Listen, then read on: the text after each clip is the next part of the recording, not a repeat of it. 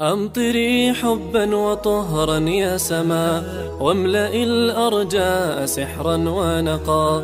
ها هي الأرواح مذ أن بللت أرضنا بالغيث عادت للصفا. السلام عليكم ورحمة الله وبركاته. بسم الله والحمد لله والصلاة والسلام على حبيبنا وأسوتنا وقدوتنا وشفاعنا رسول الله صلى الله عليه وآله وسلم. لو طلبت حاجتك بالشكل ده هتتحقق كل أمنياتك. تعالوا نعرف بعد ما نصلى على حبيبنا صلى الله عليه وآله وسلم. نعم الله عز وجل علينا ورب الكعبة لا تعد ولا تحصى. قال جل وعلا وإن تعدوا نعمة الله لا تحصوها وقال جل وعلا وأسبغ عليكم نعمه ظاهرة وباطنة فلما نطلب من ربنا نطلب كل اللي في نفسنا. نطلب كل أمنياتنا فخزائن الله ملأى لا تنفذ أبدا.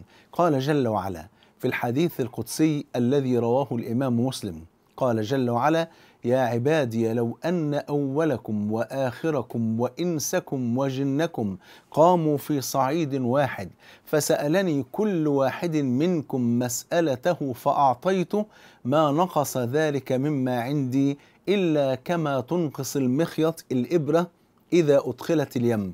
لو حطينا الإبرة في المحيط ماذا تأخذ من المحيط؟ ولا حاجة. فكذلك لو أن المولى عز وجل حقق لنا كل أمنيتنا من الإنس والجن من بداية الخليقة إلى قيام الساعة فلن ينقص ذلك من ملك الله شيئا سبحانه وتعالى. فربنا سبحانه وتعالى اللي أعطاهم نعمة الإسلام ونعمة القرآن ونعمة اتباع النبي صلى الله عليه وسلم ونعمة العقل ونعمة القلب ونعمة الجوارح والصحة ونعمة راحة البال ونعمة الزوجة والأولاد هل يبخل عليكم بشيء يسير من حطام الدنيا؟ شقة مثلا أو سيارة أو فلوس أو زوجة أو أولاد أبدا ورب الكعبة لكن الله عز وجل هو الحكيم. هو الذي يعطينا ما يصلحنا. في الوقت الذي يراه هو مناسبا لنا. أنا بقول دلوقتي مثلا يا رب ارزقني السيارة. يمكن لما يرزقني السيارة دلوقتي وأنا مش يعني ما, ما بعرفش أسوق كويس أو يمكن أعمل بيها حادثة وأموت. يمكن اللي معايا يموتوا.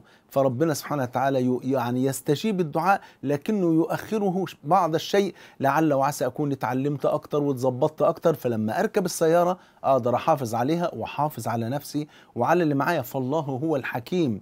يعني يستجيب الدعاء إذا لم يكن هناك أي موانع لاستجابة الدعاء ثم يعني يعطينا ما أردناه لكن في الوقت الذي يراه هو مناسبا لأنه الحكيم الذي يضع الشيء في موضعه وفي وقته المناسب سبحانه وتعالى. وبعدين عايز حضراتكم تتخيلوا معايا هل مثلا حد فيكم ممكن مثلا على سبيل المثال تخيلوا لو إن واحد جه وادى كل واحد فينا شيك بمليون دولار؟ يعني إحنا واقفين في مكان أهو وجالنا واحد قال كل واحد فيكم ليه شيك بمليون دولار. فاخدنا الشيك بمليون دولار مش مصدقين نفسنا. وبعدين بيقول إيه؟ وإيه رايكم بقى؟ لو شكرتوني هاخد منكم الشيك أبو مليون دولار واديكم شيك ب 100 مليون دولار. في حد ممكن يعمل كده يا شيخ محمود؟ أيوه رب الكعبة. مين اللي يعمل كده؟ الله. الذي قال لئن شكرتم لأزيدنكم.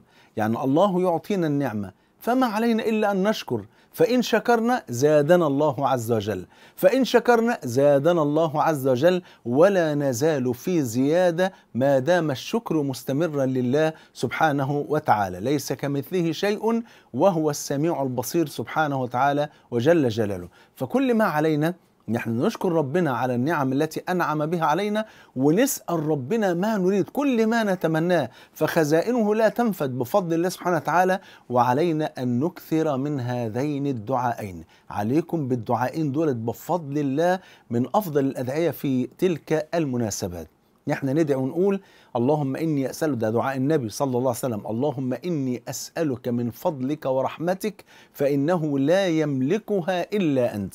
ما شاء الله. هذا الدعاء والله من أعظم أسباب سرعة الرزق بفضل الله سبحانه وتعالى. اللهم إني أسألك من فضلك ورحمتك فإنه لا يملكها إلا أنت. وندعو بدعاء سيدنا موسى عليه السلام حينما قال رب إني لما أنزلت إلي من خير فقير. يعني أنا بشكرك يا ربي على الخير اللي, اللي أعطيتهوني لكن يا رب أنا ما زلت فقيرا إلى فضلك وكرمك ومنك وجودك يا أرحم الراحمين. أسأل الله عز وجل أن يرزقكم وأن يوسع أرزاقكم وأن يفرج كروبكم وأن يحقق أمنياتكم يا رب العالمين وأن يجمعني وإياكم مع سيد ولد آدم صلى الله عليه وآله وسلم في الفردوس الأعلى. بحبكم في الله والسلام عليكم ورحمة الله وبركاته. أمطري حبا وطهرا يا سماء واملئ الأرجاء سحرا ونقا. ها هي الأرواح مذ أن بللت أرضنا بالغيث عادت للصفا.